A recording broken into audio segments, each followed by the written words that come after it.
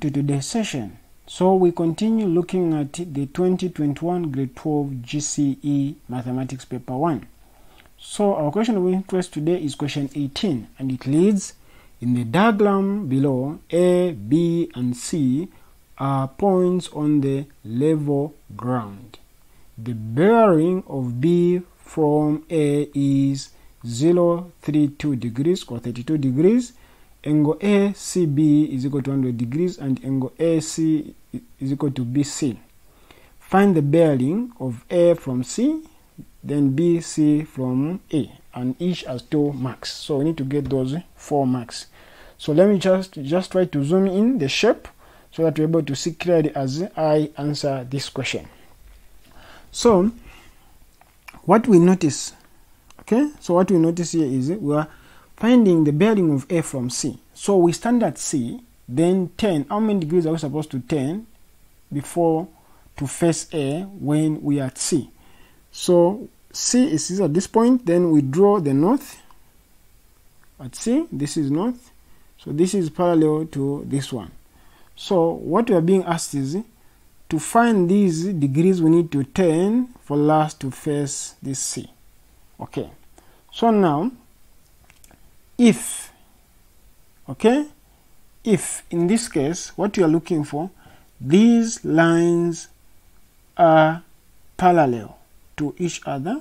So these lines are parallel to each other. So what it means we can find this angle. Once we know this angle here then we can know the other angle. So if this is 100 degrees and these two sides are equal this, so this is an equilateral triangle. So this angle and this angle are the same. So what it means is we have let us call this angle x and this will be x. So what it means is 2x which is x plus x plus 100 mass is equal to 180 degrees. Then what it means is in this case 2x is equal to 180 minus uh, 100 degrees. So 2x is equal to basically 80 so x is equal to basically 40 by dividing by 40 both sides. So divide by 2, by 2, sorry. So we get the 40. We divide by 2.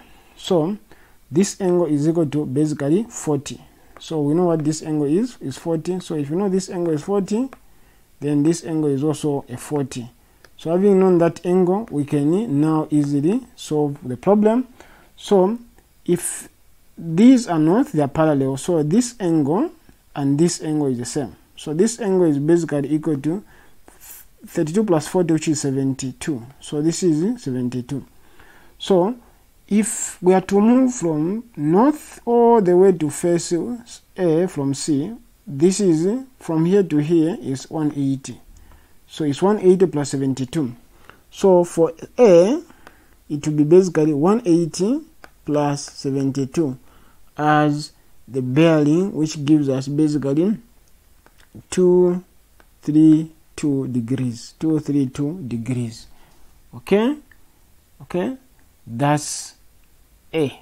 Let us look for b. B uh, c from b. C from b. So if you come and stand at b here at b and draw a north that passes there. Okay so what you are saying is how many degrees are you supposed to turn at B to face C? These degrees. That way we are being asked to find. So how many degrees are we supposed to turn? Okay.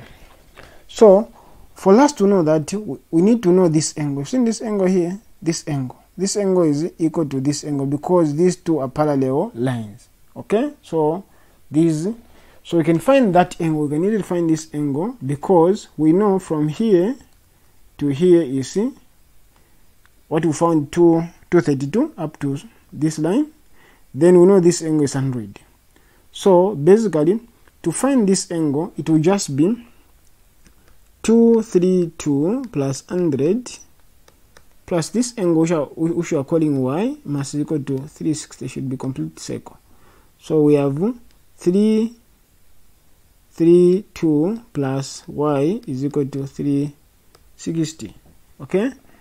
To 360 so we solve for y. So y is equal to basically 360 minus 332 so we have 1 which is 8 then here 5 5 minus 2 we have so we have 28 so what we know is this angle this angle is 28 so now if this angle is 28 what it means is from here to here we take out and this angle is also 28 so from 180 we take out a 28 so from 180 we are taking out uh, basically 28 so it becomes basically 180 minus 28 to get what remains there. So we end up with basically uh, 10 minus 8 is a 2 so about 7 we have 7 there. So 7 minus 2 we have basically uh, a 5 so it's 152 so the bearing of of uh, C from B is 152 so we need to turn 152 degrees for us to face the, the direction of C when we are at B. Okay so this is basically how you answer question 18 so let us move to question 19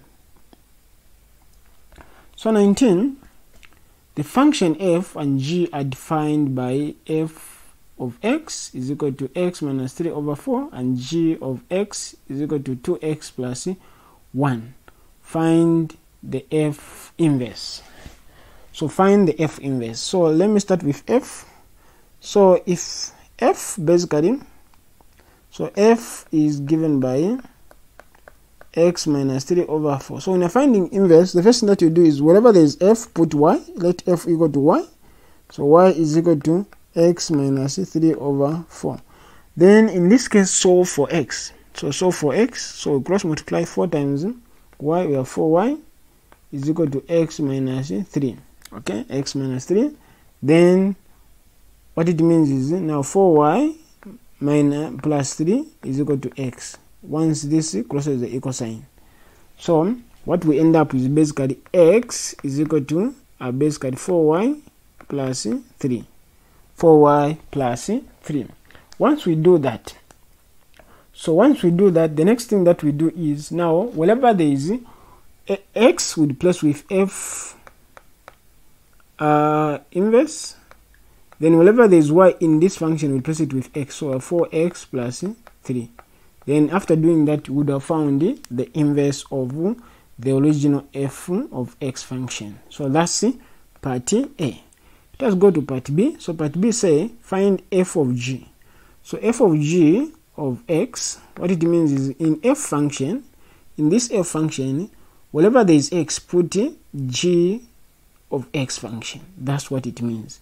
So we have basically where there is x, we are going to put 2x plus 1, this in bracket, then minus 3 over 4. Then we have 2x plus 1 minus 3 over 4. Then we have basically 2x minus 2 over 4. Then we factor out 2, so we have 2 over 2x minus 1 over 4 which is basically equal to uh, uh, basically x minus 1 over 2 so we divide by 2 both sides 2 here and 2 here like that so this is our f of g function f of g function. Then we are asked to find f of g of negative 3 so f of g when x is equal to negative 3 what it is is we are going to have negative 3 minus 1 over 2 so we're going to have negative 4 over 2 which is basically negative 2 as our answer. So basically this is how you answer question 19 to get the 4 marks